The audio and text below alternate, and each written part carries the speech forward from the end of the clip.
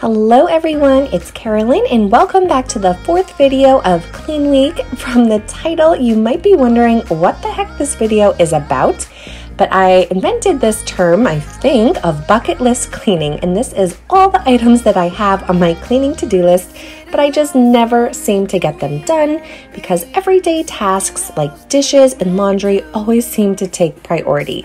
So I am going to be checking these off all of these items that I really want to get done but just never seem to find the time to do, I thought this video would give me all the motivation I need to tackle those items, and I hope that it gives the same motivation to you as well. Don't forget to head over to my friend Heather McCarthy's channel today.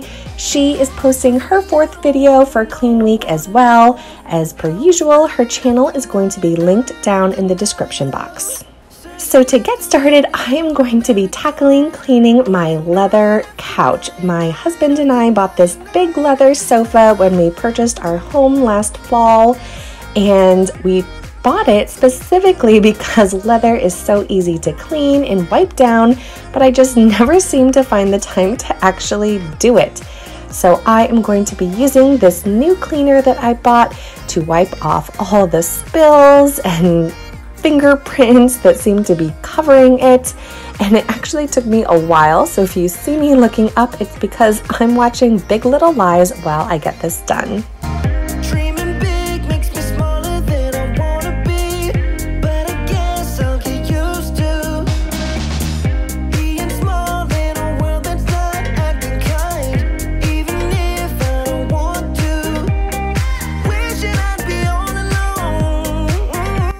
So now I'm going to be tackling my silverware drawer and this drawer is directly beneath the counter where I do most of my food prep and cooking. So the drawer and the silverware tray is filled with crumbs. Seriously, I've been meaning to do this and clean it out for ever. So I'm just emptying out the drawer.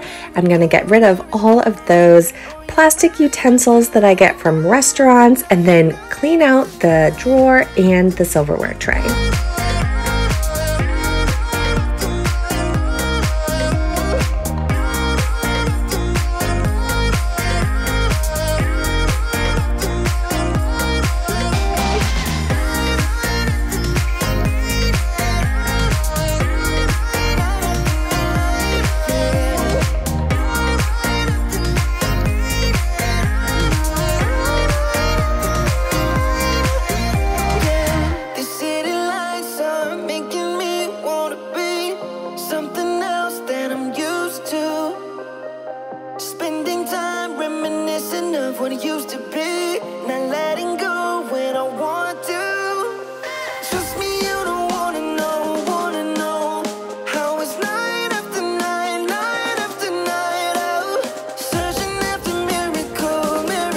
Next, I'm going to be tackling my dish rack, and I rarely think to clean this because all I do is fill it with clean dishes to dry.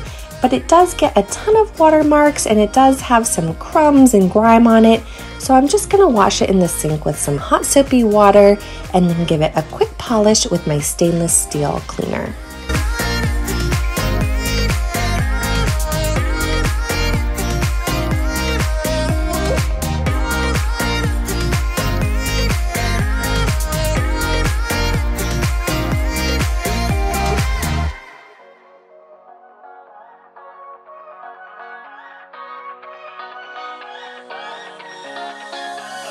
gonna stay here, no. Ain't gonna keep it low now. If you wanna go, let's go. Let's wrap it up.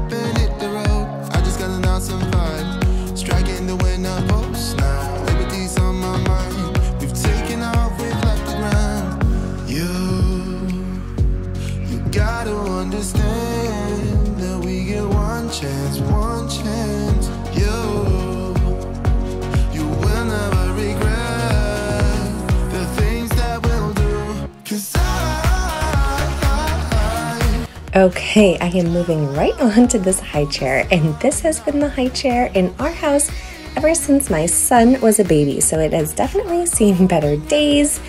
Although I do clean the tray table every single night with soap and water, the rest of it I am just too lazy to clean most of the time because I know it's just gonna become a mess the very next day. But it has really gotten out of control lately, so it really needs a good scrubbing. So I'm just wiping down the entire base of the high chair with some all purpose spray and a microfiber cloth and then I will give both of the tray tables a good scrubbing with hot soapy water.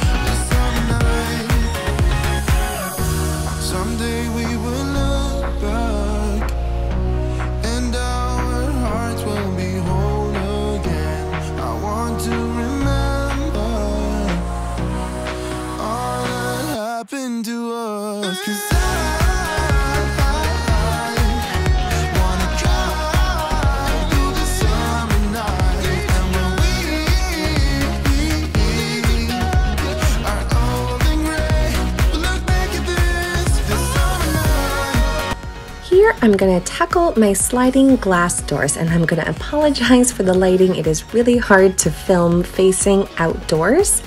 But anyways, I am going to start by cleaning them off and then I'm going to get to what is on my bucket list.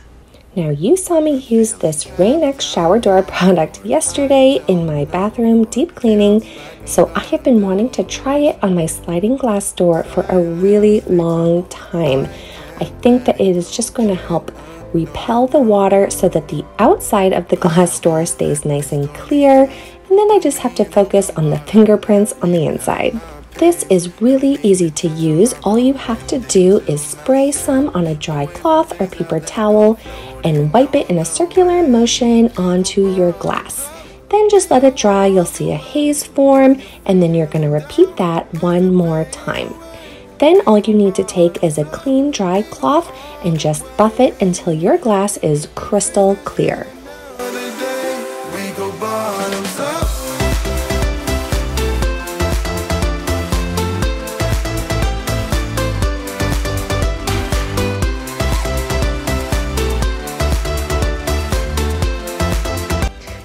Everyone, I would like to introduce you to my best friend, my partner in crime, my coffee pot. Seriously, we do not spend one single morning apart from each other.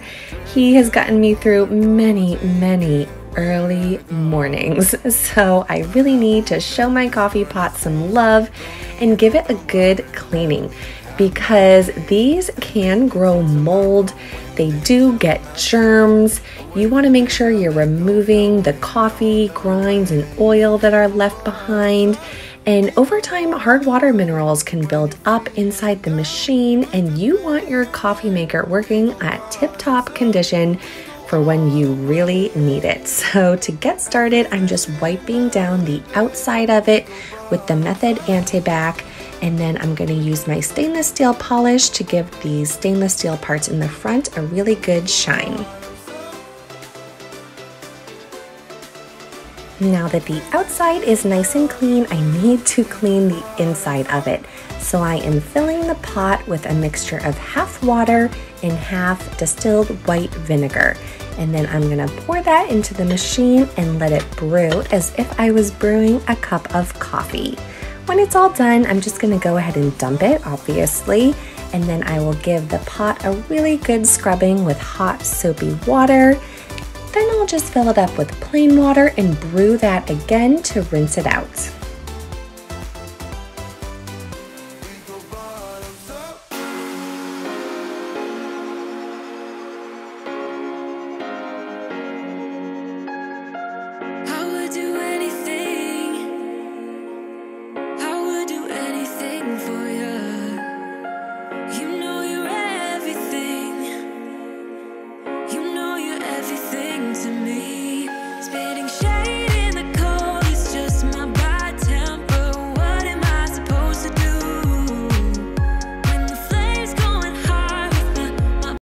Okay, you guys, we are on my very last bucket list cleaning item, and I saved the biggest task for last cleaning my kids' car seats. Oh my gosh, this is just such an undertaking, but it feels so good when you finally get it done. These car seats are just a goldfish graveyard, they are a magnet for anything and everything sticky, so they were in desperate need of a really good cleaning.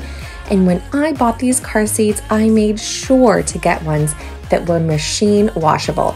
So I am just wrestling with these car seats right here, trying to get the covers off. This actually took seven minutes in real life, but I have sped it up down to less than a minute for you because who wants to see me sweat wrestling with a car seat? But, anyways, once I finally get these car seats off, all I'm going to do is just spray them down with some all purpose spray and give them a really good wipe down.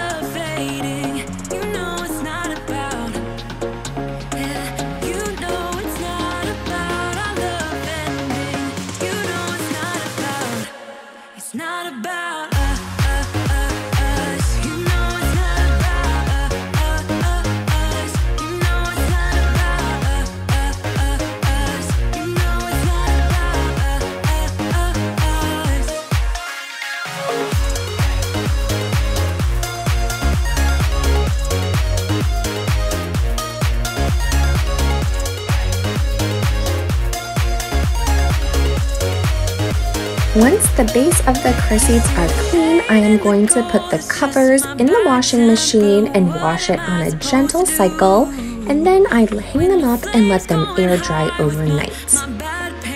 Okay, so that is it for this video. The items on my bucket list are all checked off. Thank you so much for watching, everyone. I hope you found it motivating. If you did, make sure you give it a thumbs up subscribe to my channel if you are new, and don't forget to check out Heather's Clean Week video today. She's linked down in the description box, and we are both going to be back tomorrow with our very last Clean Week video, so make sure you're subscribed so you don't miss out. Bye!